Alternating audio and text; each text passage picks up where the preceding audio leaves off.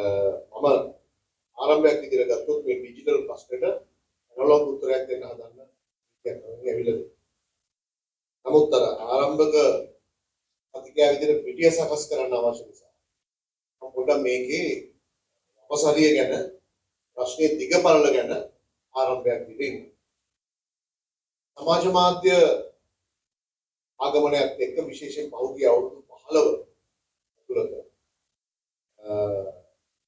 ආණ්ඩු විශාල සංඛ්‍යාවක් උත්සාහ කරනවා මේ ප්‍රශ්න විසඳන්න. මොකද්ද ප්‍රශ්නේ? ඉතල ප්‍රශ්නේ තේරුම් ගන්න බෑ. ප්‍රශ්නේ තමයි සමාජ මාධ්‍යයත් එක්ක පැමිණීමත් එක්ක හැම පුරවැසියෙක්ම වගේ සමාජ මාධ්‍ය පාවිච්චි කරලා කන්ටෙන්ට් එක දානවා. ඒකෙන් සමාජයට හොදක් වෙනවා. හිතකුත් වෙනවා. හොඳ තමයි ප්‍රජාතන්ත්‍රවාදී රාමුව ශක්තිමත් වීම, මිනිසුන්ගේ අදහස් ප්‍රකාශ කිරීමට ඉඩක් ලැබීම, two way flow information එක මිනිස්සු කතා කරනවා, උත්තර දෙනවා, සංවාද කරනවා. තාම හෙල්දි ඩයලොග් එකක්. කොහොම සෞඛ්‍ය සම්පන්න සංවාදයක් සමාජ තලයේ ඇති වෙනවා. මිනිස්සු ඉන්ඩිවිජුවලි ප්‍රශ්න කරන්න පටන් ගන්නවා සිස්ටම් එක. ඒ නිසා අද අපි ජනමාධ්‍ය විශාල ඉදිරි කරනකොට අපි ඔය ඉස්සර කිව්වේ කුළුණු හතරයි 10ක ව්‍යවස්ථාදායක අධිකරණය සහ නිදහස් මාධ්‍ය කියලා කුළුණු හතරක් ගැන දැන් තව කුළුණක් එක්ක වෙලා තියෙනවා අන්තර්ජාලය.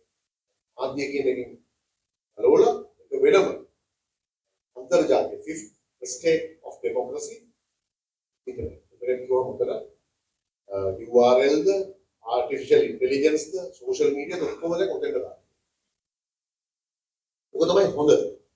නොහොඳ මොකක්ද?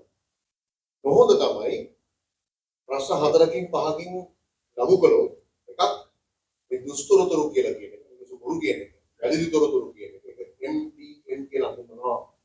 විශේෂ ක්ෂේත්‍රයක් විදිහට mal information, misinformation and misinformation. Information තුනම සමාජයේ ඉතාම හානිකාරකයි. දෙක hate speech වෛරී ප්‍රකාශන. තුන සයිබර් බුලින් කියන්නේ සිංහල වචන හොයන්නේ. සයිබර් බුලින්, සයිබර් හැරස්මන්ට්ස් අනික අන්තිමට තාම දරුණු ට්‍රෝලින්. මැතිවරණ කාලේ එහෙම හමුදාවල් පිහිටව ගන්නවා දේශපාලකයෝ. පොඩි මහත්ය හොඳ උදාහරණයක් ගන්නවා. අපිත් මේ ඩිජිටල් හමුදාවල් ඉන්නා ඉන්නවා. මාකෝස් මහත්තයා පිලිප්පිනි ඡන්දෙ දින්න අවුරුදු 10ක් මේ ට්‍රෝලින් කරලා ඉතාම සාර්ථකව මේ ට්‍රෝලින් ආමේ එතකොට අපේ ජනාධිපති ඇමරිකාවේ දැක්කා නැගෙනහිර යුරෝපීය රටවල් විසින් ඔහුගේ ට්‍රම්ප් මහත්තයාගේ කැම්පේන් එකකට කරපු වැඩි 2015 මේ ට්‍රෝලින් මේක ලොකු ප්‍රශ්නයක්. ඒ වගේ ප්‍රශ්න ගොනු කළොත් මට පහකට හයකට ගොනු කරන්න පුළුවන් මේ සමාජයට අහිත කර දේවල්. හිත කර දේවල් පැත්තකට තිබුත් අහිත කර දේවල් අපි කොහොමද මේ කල්පනාකරණය කරගන්නේ? මේ ටිකට කොහොමද උත්තර හොයන්නේ? මොකද මේ මම මේ කියපු හය ඉතාම හානිදායකයි ප්‍රජාතන්ත්‍රවාදය. එතකොට ඉස්සෙල්ලාම අපි බැලුවේ සමාගම් මොකද කරන්නේ?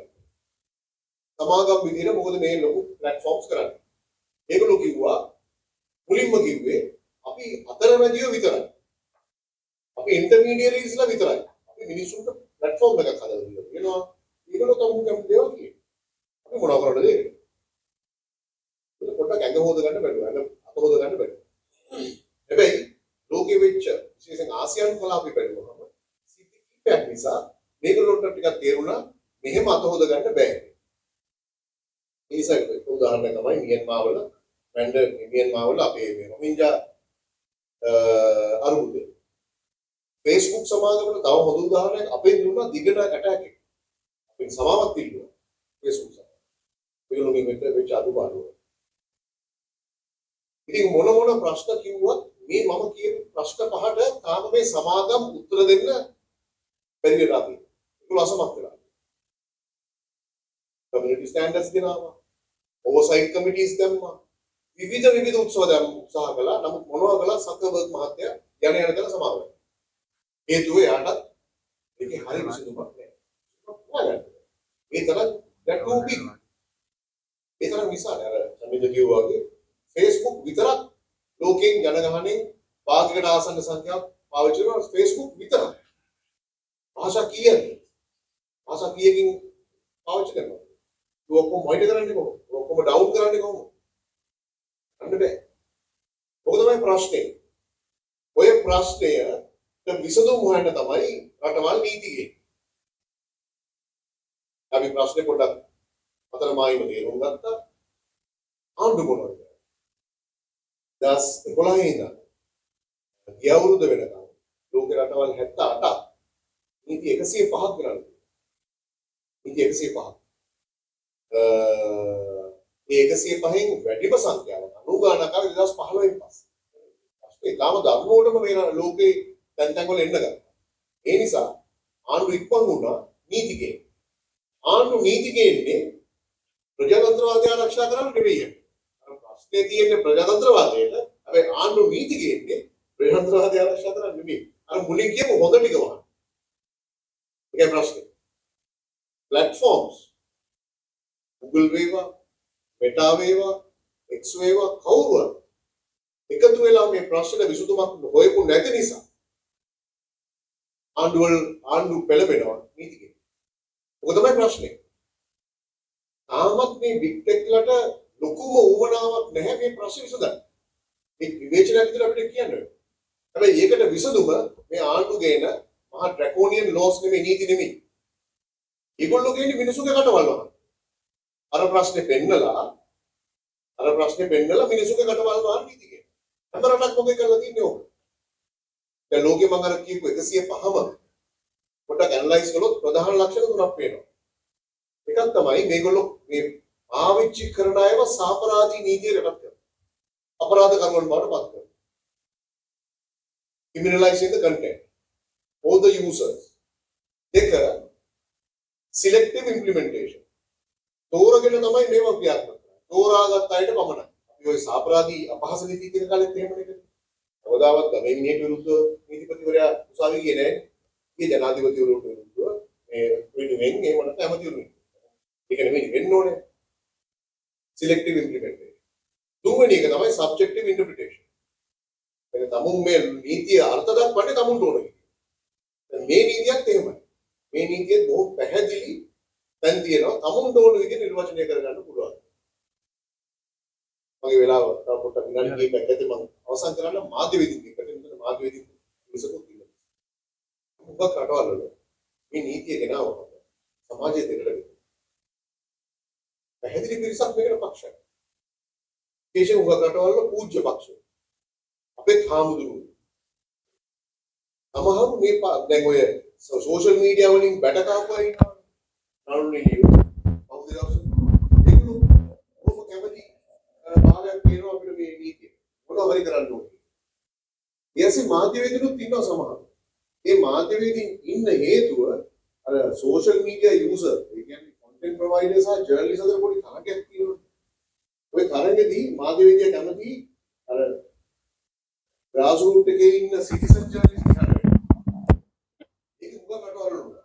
දැන් ගිය අවුරුද්දේ පාකිස්තානයේ මේ නීතිය ගෙනාවා. Pakistan electronic and communication PECA කියලා කියනවා. පෙකා නීතිය ගෙනාවහම පාකිස්තානයේ වැඩිම සපෝට් කළේ කවුද මේ නීතිය? මාධ්‍යවේදී. ඔබල මාධ්‍යවේදී මේකට හොඳයි කියලා මේ සෑහෙන උනන්දු කළා මේ නීතියේ. කොරසක් ඔක්කොම නෙවෙයි. හරි කියනවා. නමුත් අවුරුද්දකට අවුරුද්දක් ඇතුළත අවුරුද්දයි අවුරුද්දක් ඇතුළත මාධ්‍යවේදීන් 26 දෙනෙක් ඉඳලා මාධ්‍යවේදීන් 26 දෙනෙක් ක්‍රිමිනල් චාර්ජස් ගෙනල්ලා සමහරු තාමත්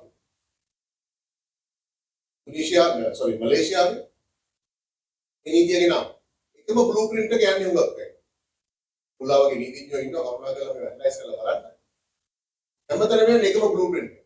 රටක් හැදුවේ මේක. මුලින්ම ඇත්තටම මම විශ්වාස කරන්නේ සිංගප්පූරුව හැදුවේ ඊට පස්සේ මේ බ්ලූ ප්‍රින්ට් එක උත්පත් කරලා මලේසියාව ගෙනාවා මේ ගෙනල්ලා කළපු මුල්ම වැඩේ මොකක්ද රජය දැඩිව විවේචනය කරන මලේසියා කිනි කියන වෙබ්සයිට් එකට ඩොලර් 125000 කරේ ඩොලර් 125000 ගෙවන්නම වුණා මලේසියා කිනි කොහොමද ගෙවුවේ මිනිසුන්ගේ සල්ලි එක්ක ඩොලර් 125000 ඒවා මේ කොහොම අර මං කියපු ප්‍රජාතන්ත්‍රවාදී ප්‍රශ්න වලට ගේන නීති නෙමෙයි ඒවා දඩේමඩ ගේන නීති මොකද මේ ප්‍රශ්න විසඳුම් හොයනවනම් අර මං කියපු මුල් ප්‍රශ්න පහට දුෂ්කර දුරද වෛද්‍ය ප්‍රකාශනද සයිබර් බුලින් හැරස්මන්ට්ද ට්‍රෝලින්ගද මේවට විසඳුම් ගේනවා නම් ගේන්න ඕනේ වෙන විදිහකට.